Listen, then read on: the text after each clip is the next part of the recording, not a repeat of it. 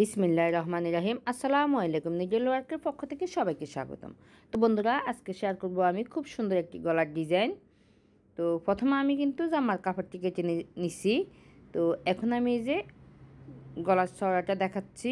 এখানে আমি গলার চড়াটা সাত ইঞ্চি দিছি।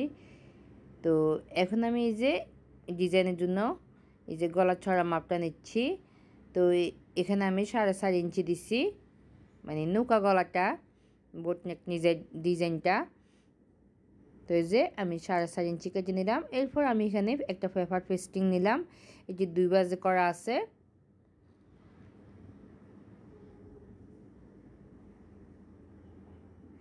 এখন আমি এই যে ডিজাইনের জন্য হ্যাঁ গলার এই যে জামার ভিতর যে সাড়ে চার ইঞ্চি দিছি, তো পেস্টিংয়ের পরও কিন্তু আমি সাড়ে চার ইঞ্চি দিছি। এরপর নিচের দিকে আমি চার ইঞ্চি দিছি তো এই যে চার ইঞ্চিতে আমি, দাগ টেনে নিছি।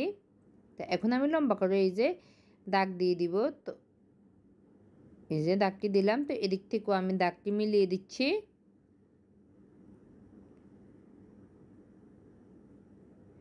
এরপরে যে হ্যাঁ রাউন্ড শেপ করে আমি দাগ টেনে দিচ্ছি।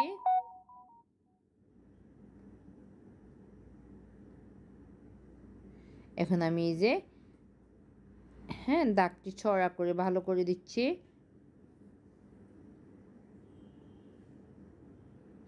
এরপর এই যে আমি এদিক থেকে দেড় ইঞ্চি পরিমাণে নিচ্ছি ডিজাইনের জন্য।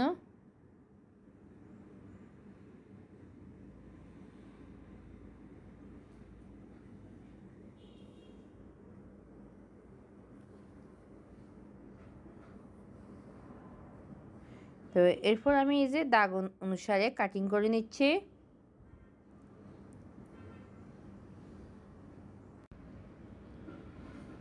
তো এখান থেকেও আমি কেটে নিব। তো বন্ধুরা, এই যে কেটে নিলাম আমি গলার ডিজাইনটি। এরপর এখানে একটা কাপড় নিলাম। তো কাপড় উপর আমি পেপার পেস্টিংটাকে হ্যাঁ গলার ডিজাইনটাকে বসালাম। বসিয়ে উপর ইস্ত্রি করে দিব। তো এই যে আমি স্ত্রি করে নিলাম। এখন আমি এই যে বাড়তি অংশ কাপড়টি কেটে আলাদা করে নিব।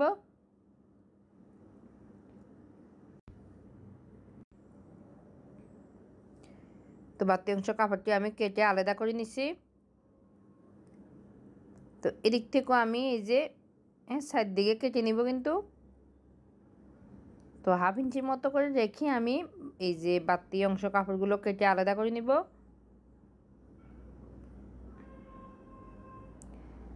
নেওয়ার পর বন্ধুরা আমি পেপার পেস্টিংয়ের উপরে হ্যাঁ গলার ডিজাইনটির উপরে কিন্তু আমি কাপড়টিকে ঠিক এভাবে করে বসিয়ে এর উপরে কিন্তু স্টেই করে নিব ফিনিশিং হওয়ার জন্য।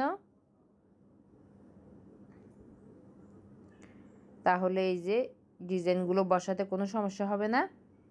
তো এই যে আমি আয়রন করে নিলাম, এরপর এখানে আমি চিকেন পাইপিং তৈরি করে নিছি আগে।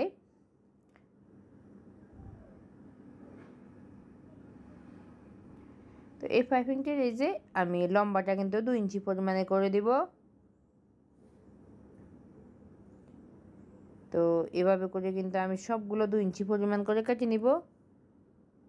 যতগুলো আমার প্রয়োজন, আমি দু ইঞ্চি পরিমাণে করে সবগুলো কেটে নিব। তো এই যে আমি সবগুলো কেটে নিলাম।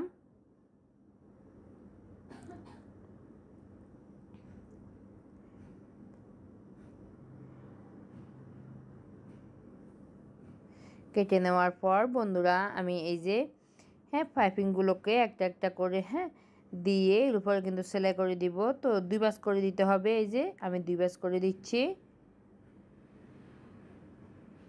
তো একটা একটা করে আমি সবগুলোকে হ্যাঁ বসিয়ে এর উপরে কিন্তু একটা সেলাই দিয়ে দিব।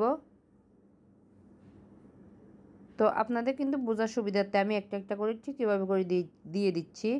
তো সেলাই করার সময় কিন্তু একটা একটা করে সেলাই করবেন, ঠিক আছে?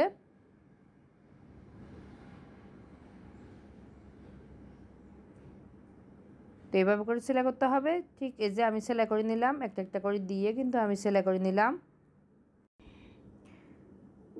তো এরপর আমি এই যে জামার কাপড়টি নিলাম হ্যাঁ? জামার গলার কাপড়টি নিলাম। গলার কাপড়টিকে আমি আগে কিন্তু এই যে কাটিং করে নিছি সাড়ে চার ইঞ্চিতে। তো এখন আমি এই যে না, ডিজাইনের এই যে কাপড়টি আমি জামার কাপড় পরে বসিয়ে হ্যাঁ এর উপরে কিন্তু একটা সেলাই দিয়ে দিব। তবে ফেস্টিংয়ের উপরে না হ্যাঁ ফেস্টিংয়ের একদম ফাঁসে তো এটা কিন্তু আমার সোজা সাইড আর উপরেরটা কিন্তু আমার উল্টো সাইড তো আমি উল্টো সাইডে কিন্তু এই ডিজাইনটি বসাবো, ঠিক আছে? তো সোজা সাইডে এরপর আমি উল্টিয়ে নিয়ে যাব। তো এই যে আমি সেলাই দিয়ে দিয়ে দিলাম, এখন আমি এই যে বাড়তি অংশ কাপড়গুলো কেটে আলাদা করে নিব।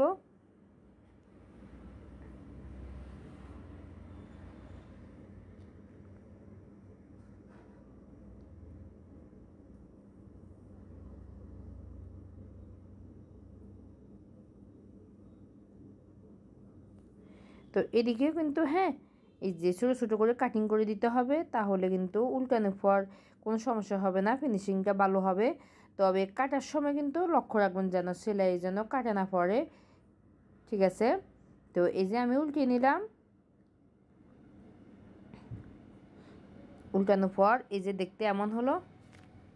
তো বন্ধুরা, এই যে এই পরে কিন্তু এই বরাবরে একটা সেলাই দিয়ে দিতে হবে। তো এই যে আমি সেলাইটি দিয়ে দিলাম।